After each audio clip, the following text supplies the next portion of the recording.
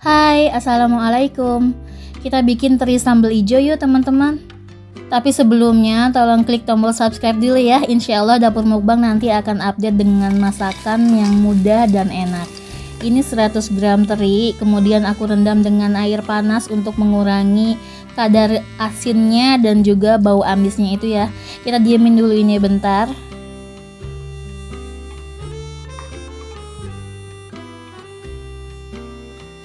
Nah, sambil menunggu ikan terinya direndam, kita siapin untuk e, bumbunya. Untuk bawang merah dan bawang putihnya ini aku iris aja ya, teman-teman, supaya nanti rasanya jadi makin gurih ya. Nah, setelah itu bawang merah, bawang putihnya diiris, kita siapkan untuk e, bumbu yang akan dihaluskan tapi nanti teksturnya kasar aja, jangan sampai halus ya. Ini ada cabai rawit, tomat hijaunya dua buah dan juga sekitar 80 gram cabai hijau keriting nih teman-teman. Nah, ini kemudian mau aku chopper. Jadi nanti teksturnya itu kasar ya teman-teman, jangan sampai halus ya.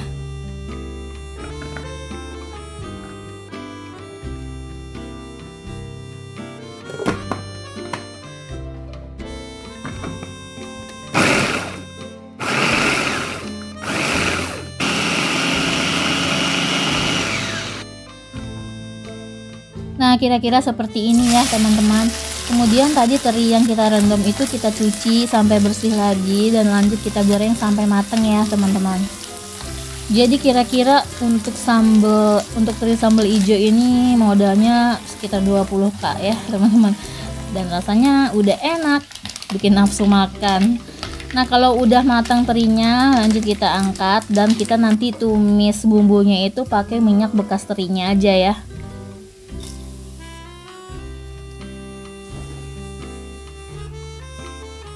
Nah yang pertama kita tumis duluan itu dua bawang yang tadi kita iris Bawang merah, bawang putihnya kita tumis duluan sampai kecium wangi.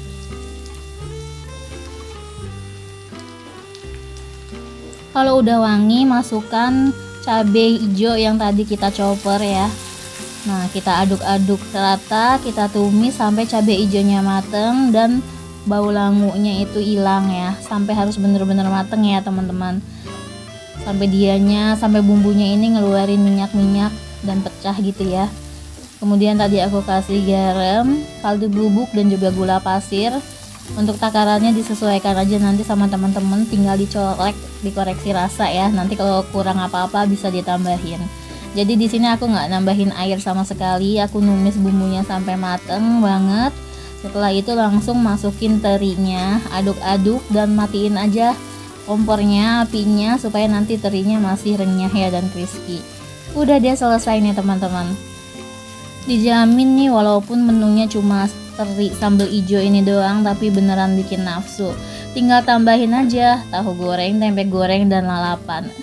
Atau pakai tumisan sayur juga udah enak. Tapi kalau ini doang pun bahkan enak jadi nanti sebelum masukin garam ke bumbu cabai hijaunya itu kita cobain dulu terinya ya apakah uh, rasa asinnya kuat atau enggak. Jadi nanti bisa disesuaikan ketika memasukkan garam ke sambal hijaunya. Terima kasih banyak ya teman-teman udah menonton videonya sampai selesai. Sampai jumpa lagi ya di video dapur mukbang yang selanjutnya. Bye